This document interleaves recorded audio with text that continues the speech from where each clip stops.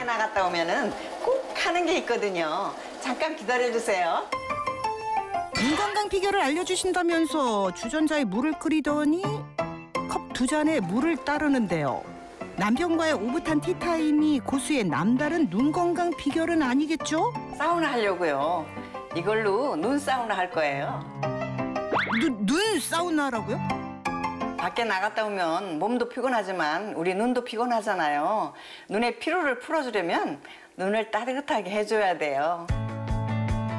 방법은 간단합니다. 컵에 끓는 물을 3분의 1 정도 채워준 후 눈에 가까이 대고 천천히 깜빡여주면 되는데요. 총 5분 동안 하루에 두 번씩 하면은 눈이 촉촉해지고 정말 좋아요. 이때 주의할 점이 있었으니 물과 물컵이 눈에 직접 닿지 않도록 눈과 컵 사이 일정한 간격을 유지해줘야 한다고요.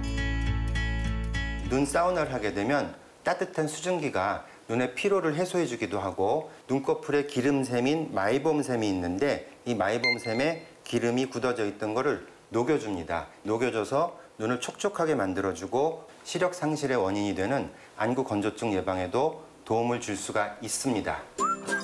여기서 끝이 아닙니다. 눈을 따뜻하게 관리하는 명안의 또 다른 방법이 있었으니 이건 콩 아닌가요? 콩으로 눈 찜질 하려고요. 먼저 적당량의 콩을 비닐봉지에 넣고 구멍을 살짝 뚫어준 후 전자레인지에서 약 3분간 데워 수건으로 감싸주면 되는데요.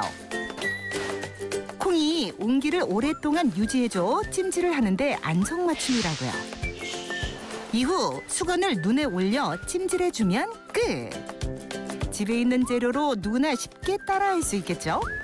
명안이 이렇게 눈 건강에 신경을 쓰게 된 데는 다 그럴 만한 이유가 있다는데요. 제가 아들이 두 명이 있는데 라식, 라섹을 할 만큼 눈이 나빠요. 제 남편도 돋보기를 쓰고 있고요. 가족들이 눈 나빠지는 걸 옆에서 보다 보니까 이대로는 안 되겠다 싶어서 가족들 눈 건강도 챙기고 제 눈 건강도 챙길 겸 이렇게 눈 건강에 신경 쓰게 됐어요.